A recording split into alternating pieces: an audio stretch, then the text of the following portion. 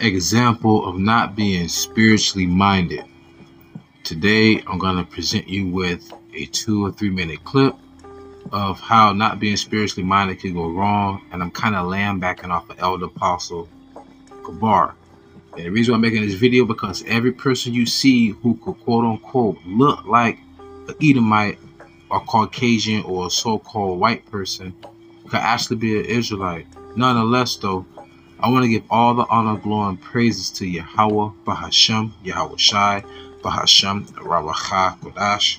Double honor to the elders at Great Milestone who rule well. Sing honors to the elect. Peace and blessings be to all the sincere men, women, and children that do consist of the one third. Shalom. I'm going to open up with two precepts Romans 8, verse 5 through 6. For they that are after the flesh do mind the things of the flesh, but they that are after the spirit, the things of the spirit.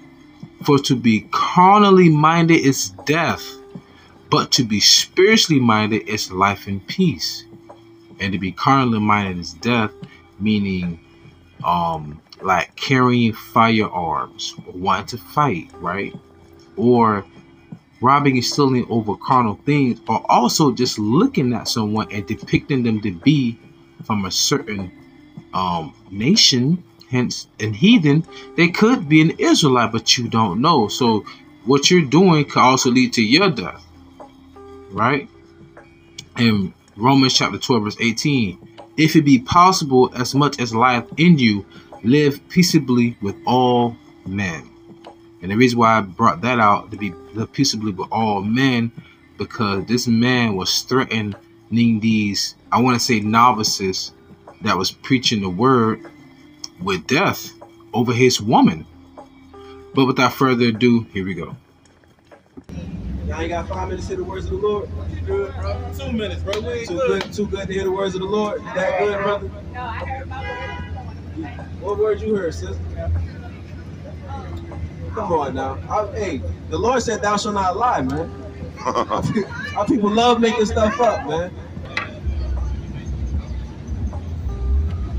Hey, brother. Nice guard. You gotta, you gotta separate from your enemy, though, brother. You're an Israelite. You gotta separate from your enemies, man.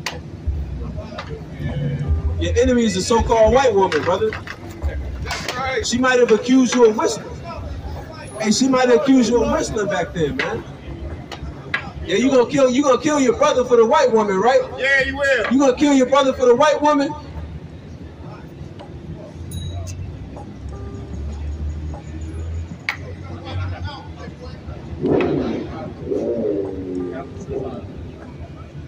Hey, brother. Now you holding up traffic. That's my wife, 21 years. We got three kids. Hey, brother. Do you believe in the You Bible? watch how you talk You believe in the Bible? And my wife. Hey, you believe in the Bible? Right now, I don't care about none of that. Hey, you know the Lord. You know the. Lord said we got enemies, brother. I don't care about none of that. You know the Lord said we got enemies, Hey, brother. watch how you just That will you, be sold you, to our enemies. you out here begging for somebody. You I got it. begging, brother. You got it. Hey, I brother. swear. Hey, brother, you out here for the Lord, bro, you Hey, inviting brother. the devil. You don't know the Lord, brother. Bro, That's why you you out here saying that. Lord, you inviting the devil. All right, I promise you that. All right, brother. You mess with the right one, boy. You better watch how you brother. talk about my wife. All right, brother. I'm gonna tell you right now. All right, you talk all the white if you want to, but that's my wife, bro. And I will get out that car and I will do what I gotta do. I don't care how many of y'all out here. Brother, brother, I'm gonna let you know, brother. We not we not dealing with that, bro. I brother. don't give a. We We not dealing with that, boy. that. Take it there. I swear. I will. You do, just keep it pushing, brother. It ain't even Hey, that serious, bro. You don't want me, bro. You right, brother. I don't, brother. All Watch praise to the Most High, King. You right, brother. You don't want these right, brother. Watch your mouth. Hey, brothers, get back It ain't no sense and everybody laying down out here for nothing. That's what I'm trying to tell you, bro. You right. It ain't even worth it. Is your life worth talking shit to me while I drive by? Hey, look, brother. We we not out here for that. Uh, well, that's what I'm on. So I'm just let you know. Watch how you talk to me and my wife, bro. I, I, I don't give a fuck who around. I don't care the police, none of that. If you disrespect me and mine, I will die for it. Will heal in front of everybody right goddamn now today. I promise you, nigga. Watch how you talk about me and my wife when I pass by. Don't never in your life talk to me like that. I swear on everything I love. Do what you gotta do. All right, brother. We don't want to do nothing. We don't want to do nothing. I out, will brother. goddamn, I'm gonna let you know Peace right out, now. brother. Peace out, brother. Enjoy the harbor passage. Pastor Right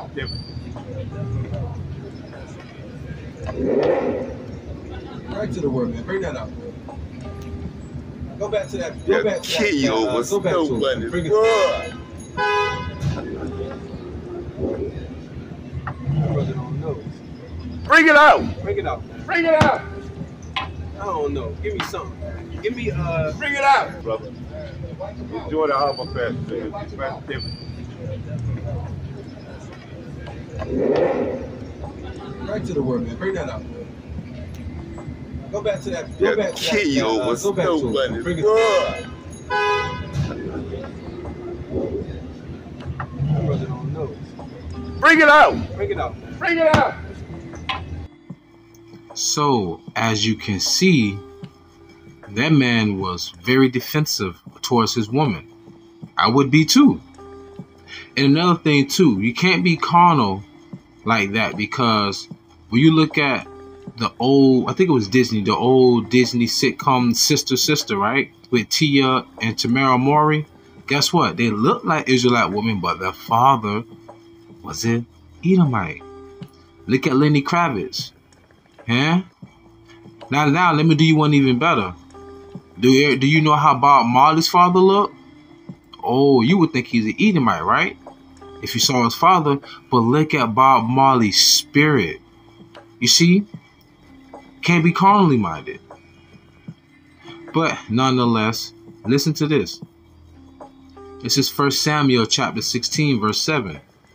But the Lord saith unto Samuel, Look not on his countenance, or on the height of his stature, talking about King David when Samuel was one to the sons of Jesse, because I have refused him.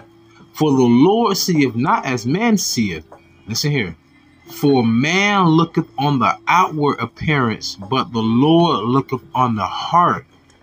And that was heavy because in St. John 4, it says, God is a spirit, and those that worship him must worship him in spirit and truth. So you can't just look at someone at that outer appearance and be like, who, who the hell are you? Who is this guy? Right? Like John the Baptist, remember? He was wearing camel's hair. He was he was the one in the wilderness crying. But he was a he was a, he was Elijah, a major prophet.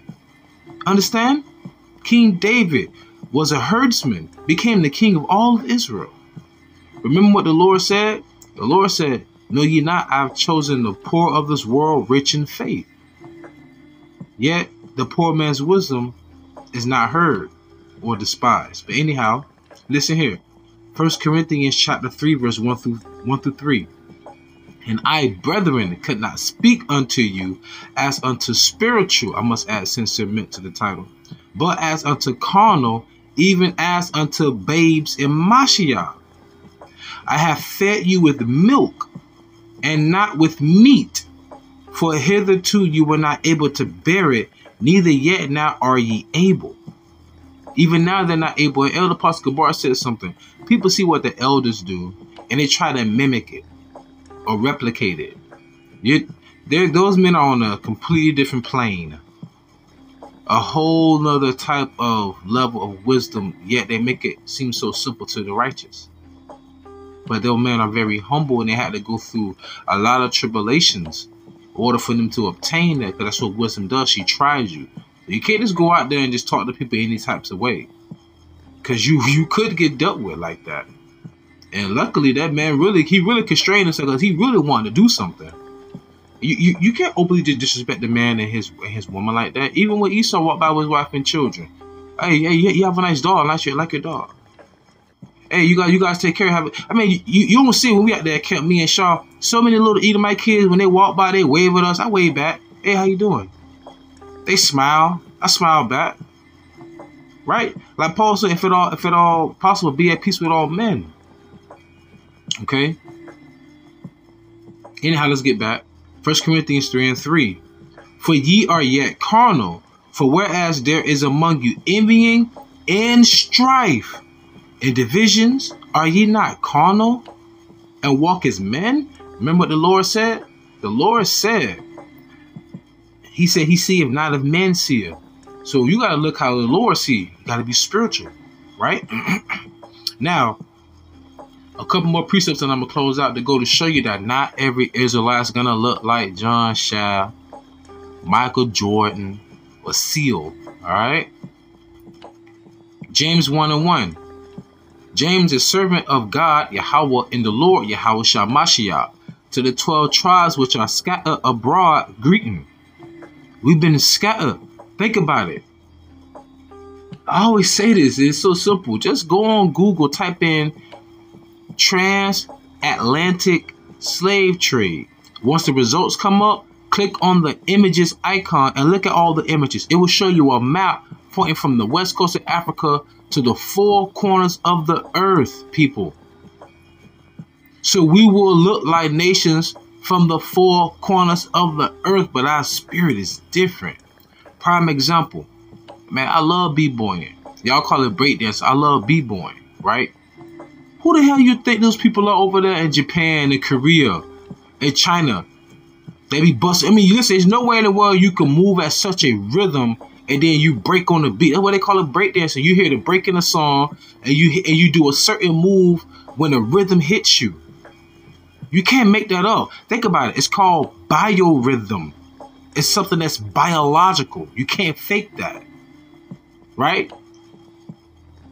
I'm thinking about so many right now. Hong Ten, Taisuke. Yo, man, stop it. We scatter. Now listen. Isaiah 11 and 11 through 12. And it shall come to pass in that day that the Lord shall set his hand again, the second time to recover the remnant of his people. Who are his people? Israelites. So let's see where he's going to recover them all from. What shall be left from Assyria, over the Middle East, from Egypt, northeastern of um of Africa, and from Pathros, and from Kush, Kush that's the southern part of Africa. You got a brother down in Tanzania. Shalom to that brother. Okay? And from Elam, that's East India. There's over a billion people in, in, in India right now. Come on.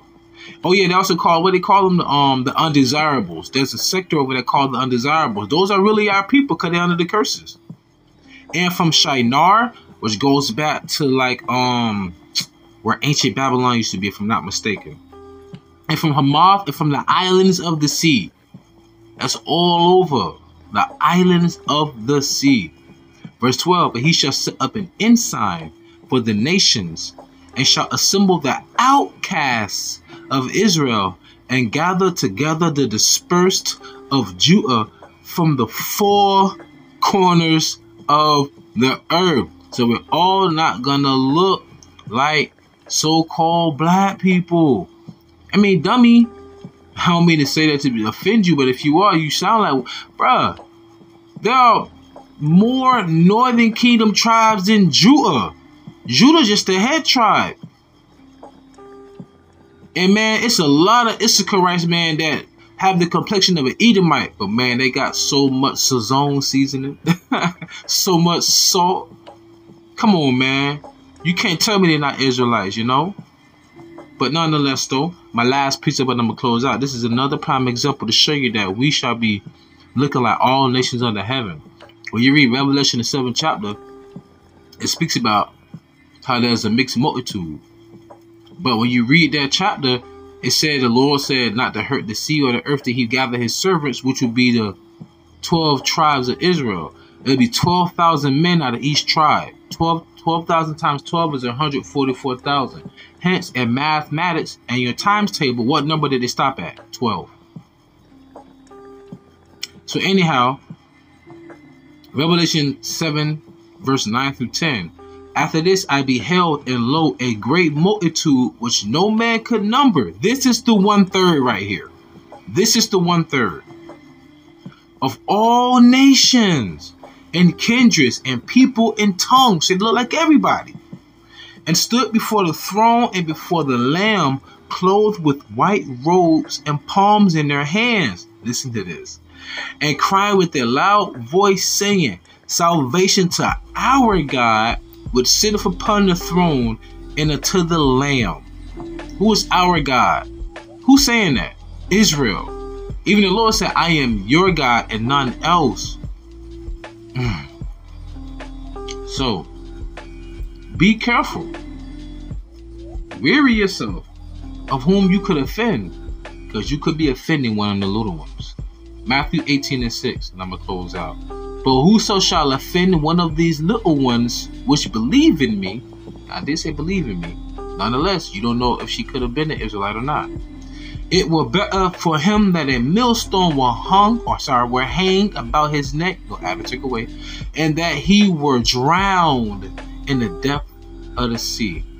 Remember, every idle word that proceeded out of man's mouth, they must give account for in that day. So with that being said, I pray you edified, fed, stay in the spirit, don't fear it, just endure it. Ask for forgiveness, pray without ceasing, stay humble, remain diligent, Om Allah, Buffalo Ball, Shalom.